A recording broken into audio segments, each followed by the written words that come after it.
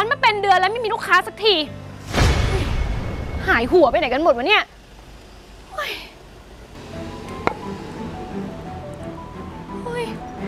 รถใครวะ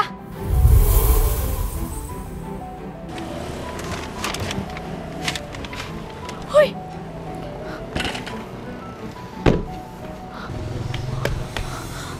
พี่เบ พี่เบลรถใครมาขับอะ โอ้ย รถหรูซะด้วย อย่าเสียงดังไป เดี๋ยวก็เดี๋ยวได้ยินหมดอะรถลูกค้า แล้วพี่เบลรถมาขับอะเขาไม่ว่าเหรอ ไม่ว่าหรอก เขาไม่รู้อะโอ้โหรถสวยมากเลยอะพี่ จะว่าไปเราสองคนนี่จะมีบุญวาสนาได้นั่งรถแบบนี้ไหมเนี่ย เอาให้เธอเนี่ยขายส้มตำได้กำไรเยอะๆก่อนแล้วค่อยว่ากันโอ้ยกำไรบ้าบออะไรพี่ ทุกวันเนี้ยก็ขาดทุนจะตายอยู่แล้ว นี่ฉันพูดไปนะ ร้านเราอะ ขายไม่ดีเลยอะพี่ ฉันนะทั้งโปรโมททั้งประกาศให้ชาวบ้านรู้แล้ว ไม่เห็นมีใครมากินส้มตำร้านเราเลย หรือว่าไอ้แผนโปรโมทของเธอเนี่ย มันยังจูงใจลูกค้าไม่มากพอฮะแค่ส้มตำเนี่ย มันจะต้องจูงใจอะไรนักหนา แค่ตำอร่อยก็จบแล้วปะนี่ไงเพราะถ้าคิดแบบนี้ไงเราสองคนเนี่ยถึงได้จนอยู่อย่างนี้ไง พี่พูดเหมือนพี่มีวิธีอย่างนั้นอะแล้วถ้าพี่มีวิธีเนี่ยทำไมไม่บอกกันตั้งนานปล่อยให้ร้านเราขาดทุนเป็นเดือนอย่างเงี้ย อ๋อ พี่คิดออกแล้ว คิดอะไรออกอะพี่ เอาหูมา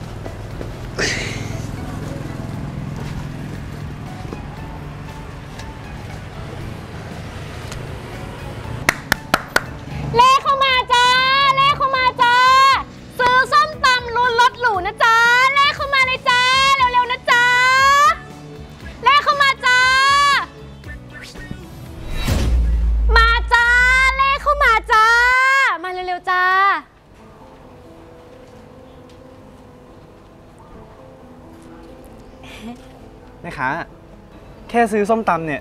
มีสิทธิ์ได้รถหรูคันนี้เลยเหรอ ใช่สิคะคุณลูกค้า แม่ค้าจะโกหกทำไมล่ะคะ โห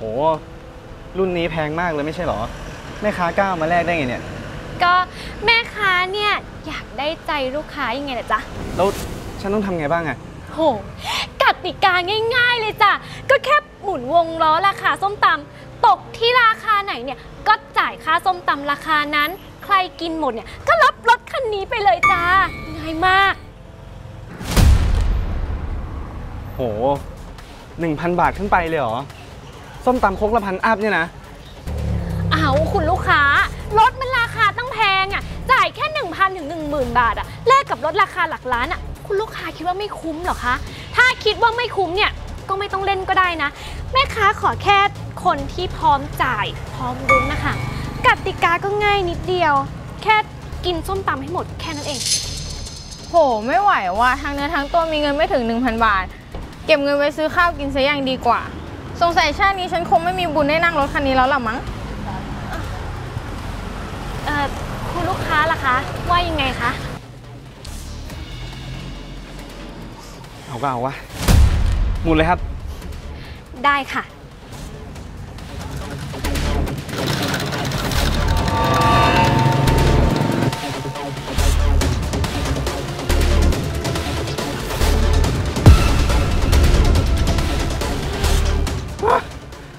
าพันส้มตำครกละห้าพันเนี่ยนะ เงินค่ะ5,000แลกกับรถหรูเนี่ย คุ้มนะคะคุณลูกค้า จะจ่ายไม่จ่ายคะอ่าจ่ายก็ได้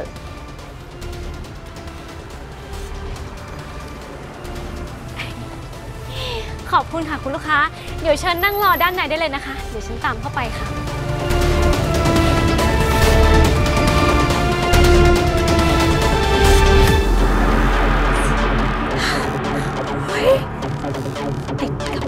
หนึ่ง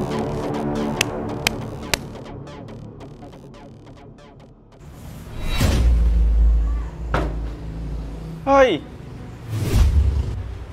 ทำไมมีแต่พริกแบบเนี้ยแบบนี้เขาเรียกว่าตำพริกแล้วไม่ได้เรียกว่าส้มตำเอาคุณลูกค้า คุณลูกค้าคิดว่าการลุ้นรถเนี่ยมันจะได้มาง่ายๆหรอคะ มันก็ต้องผ่านอุปสรรคกันบ้างแบบนี้ใครมันจะกินได้อะ เอากินไม่ได้ก็ไม่เป็นไรค่ะ แต่ว่าคุณลูกค้าก็จะไม่ได้ลุ้นรถนะคะ แล้วเงินที่คุณลูกค้าจ่ายค่าส้มตำมาเนี่ย เราก็จะไม่คืนด้วยค่ะ ตามกติกานะคะ โอ้ลองดูก็ได้วะ ไหนๆก็เสียตังค์ไปแล้ว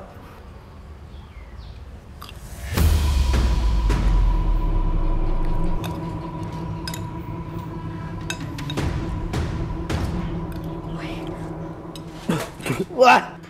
โอ้ยเผ็ด เผ็ดขนาดนี้ใครจะกินได้วะหลอกลวงชัด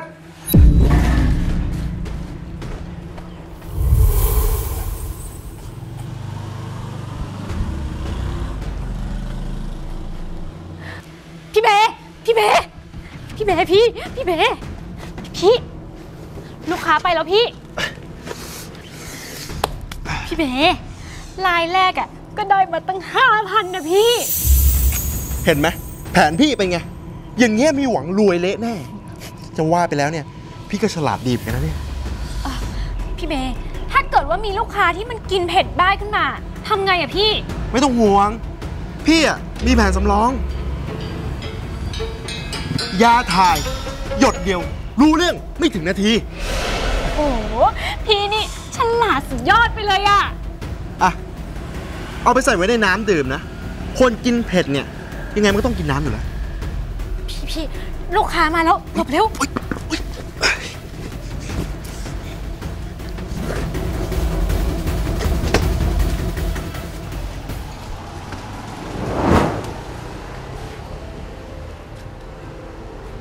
ได้ข่าวว่าส้มตำร้านนี้รุนล้นหรูเหรอคะ ใช่ค่ะลูกค้า แค่เลือกราคาจาก 1,000 บาทถึง 10,000 บาท ได้ราคาไหนเนี่ยก็จ่ายราคานั้น แล้วก็กินส้มตำให้หมดนะคะ แค่เนี้ยก็ได้ รับรถหรูไปเลยค่ะ โห ได้ค่ะ งั้นฉันหมุนเลยนะคะ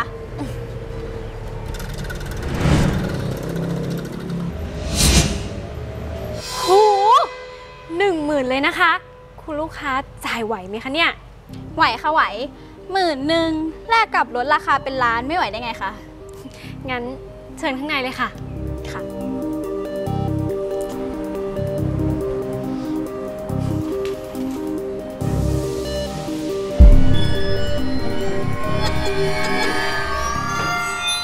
หพริก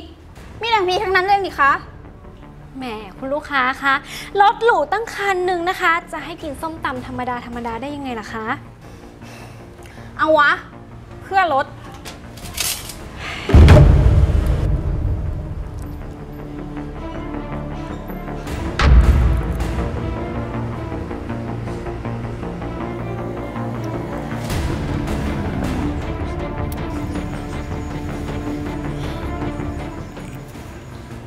คุณลูกค้าคะคุณลูกค้ากินได้เหรอคะอ๋อพอดีว่าฉันเป็นคนชอบกินเผ็ดอะค่ะเอ่อคุณลูกค้าคะดื่มน้ำหน่อยก็ดีนะคะ เดี๋ยวฉันไปเอาน้ำให้ค่ะ อ๋อ ขอบคุณค่ะ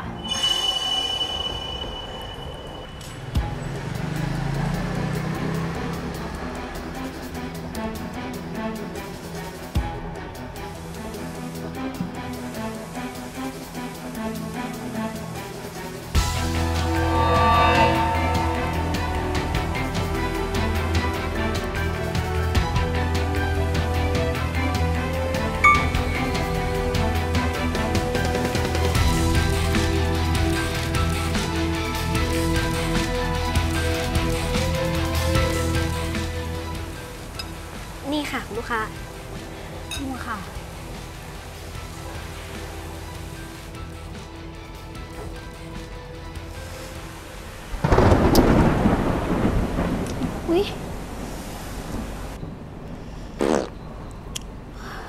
อุ๊ยลูกแม่จะมาอะไรตอนนี้เนี่ยสงสัยว่าคุณลูกค้าจะทานเผ็ดเกินไปอะค่ะ ท้องไส้เลยปั่นป่วน ไม่ไหวแล้วห้องน้ำไปทางไหนคะอ๋อทางนู้นเลยค่ะ โอ้ยเกือบไปแล้วไหมล่ะ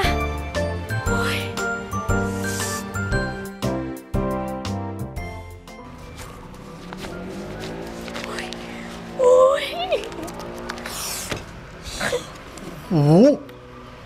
ขายวันเดียวได้ตั้งเกือบแสนน่ะจะไม่เกือบแสนได้ไงล่ะพี่ ก็ทั้งวันอะนะ พี่ดึงวงล้ออยู่ที่1 0,000ตลอดเลยอะจะว่าไปแล้วเนี่ย ลูกค้าที่นี่ก็หลอกง่ายดีเหมือนกันนะ ยอมกินส้มตำโคกละเป็นหมื่น แต่สุดท้ายเนี่ยก็ไม่มีใครกินหมดเลยสักคนน่ะเออพี่ว่าแต่พี่จะเอารถไปคืนเขาวันไหนอะฉันจะได้รู้ว่าฉันจะต้องใช้รถคันนี้หากินได้อีกกี่วัน ยังยังยังได้อีกสองวันน่ะพี่ว่าเราต้องรีบกอบโกยแล้วล่ะ พี่ ถ้างั้นเนี่ยฉันว่าเราเพิ่มราคาจากหลักพัน เป็นหลักหมื่นดีไหมคนมันอยากได้รถราคาหลักล้านอะยังไงมันก็ยอมจ่าย เออเออเออเอาเอาเข้าท่าดีเหมือนกันนะเนี่ย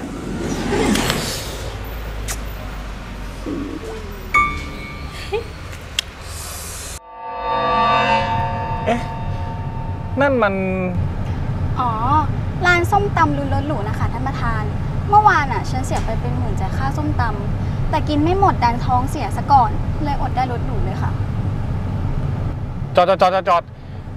เอ๊ะ เมื่อกี้คุณพูดว่าร้านส้มตำเนี่ย เอารถหรูมาลุ้นโชคงั้นเหรอ ใช่ค่ะท่านประธาน แต่ว่าต้องหมุนวงล้อเลือกราคาส้มตำก่อนนะคะ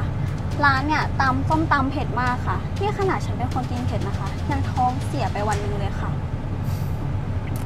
แต่คงยังไม่มีใครกินได้มั้งคะ ไม่งั้นเนี่ยรถคงไม่อยู่แล้ว